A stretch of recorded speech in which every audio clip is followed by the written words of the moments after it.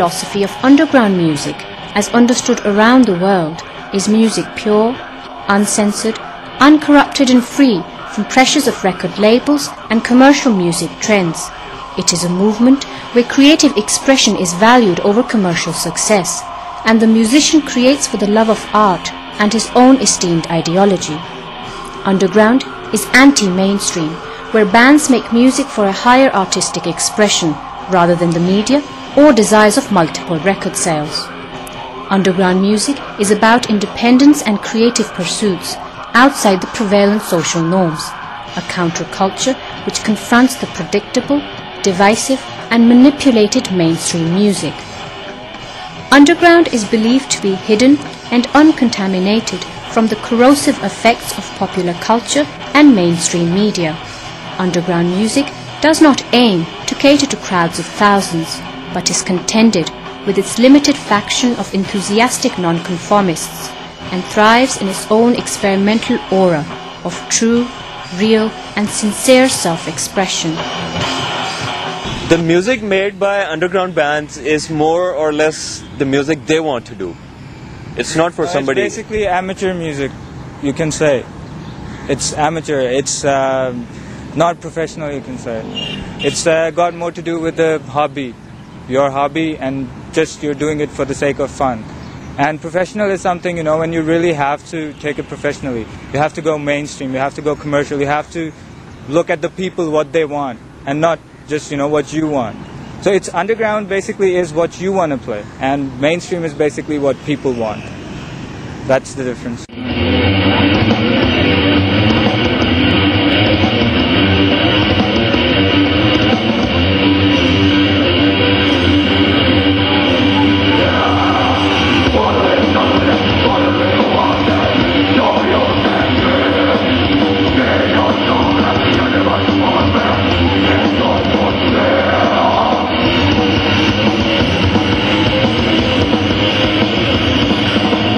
It's um, a very less crowd. It's been, you know, it has increased a lot during the past five years. But it's more like, you know, just limited to one circle. And we see a lot of people, same people on every concert. Like each and every concert, you see all the same people coming in.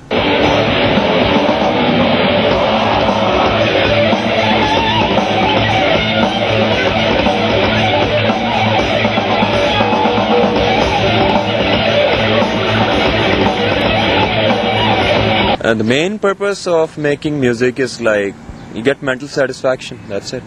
It's more you want to. It's more more like an achievement. Like you wanted to do something and you actually did it. But until now, it's more of a hobby at the moment. It's because it's not. You can't make it commercial. So we're studying. We're working. You know, some some of us are working. Some of us are studying. So it's basically a hobby right now. We're just doing it on a side.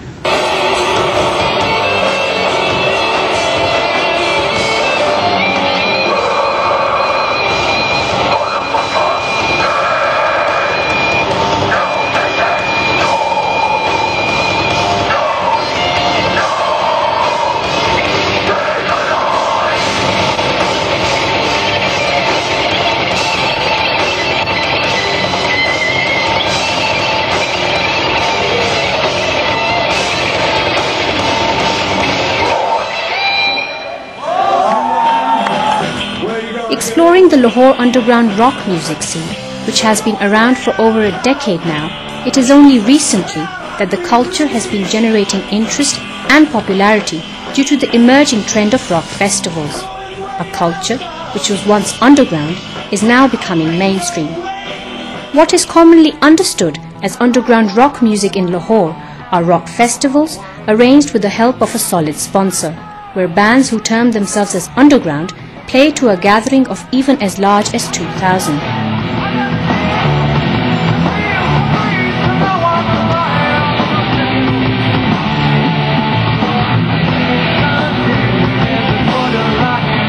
Uh, This is the third uh, rock festival, and uh, basically it started from uh, year 1995 when uh, a couple of boys from Lahore they organized a peace festival.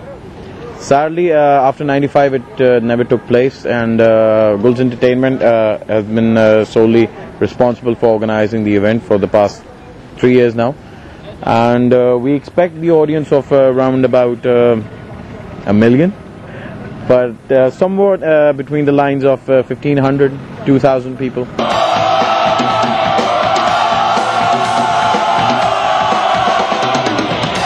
The acceptance of underground uh, will not mature because uh, uh, the media and especially the multinationals they think of rock as a band music or sort of thing because it's quite open it's quite bold. And the lyrics uh, are quite offensive at uh, times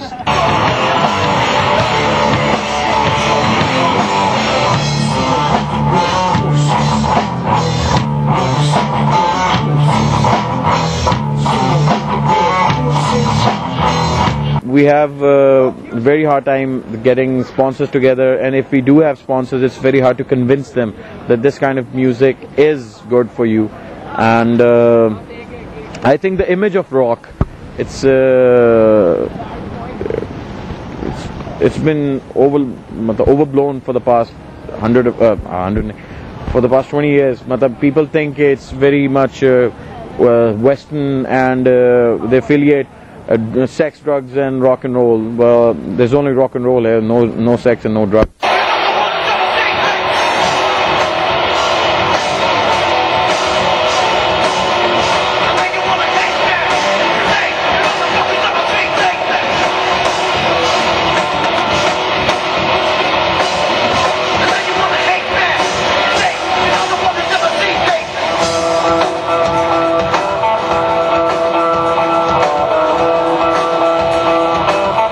In Pakistan, in Lahore, at least, there's no real underground scene. There's no real. There was an underground scene like five years ago when bands like Seth and Incision were starting out.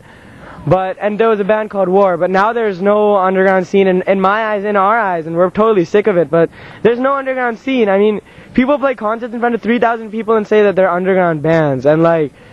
I mean, you could like offer like one of these so-called underground bands to come on TV, and they would. And the thing is that as a band, Sickore, we don't call ourselves underground because we're not underground. Okay, we are, we're not underground and we're not commercial. We're not motivated by money.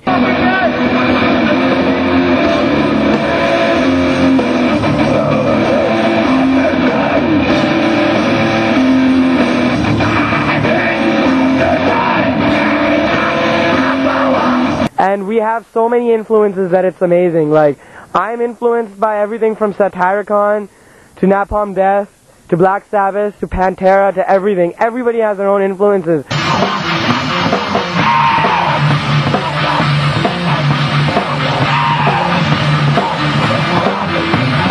A lot of bands here, they don't really like each other, and like a lot of them are in competition, but on top of it, like they're all friends with each other, but like all of them really hate each other, to be honest.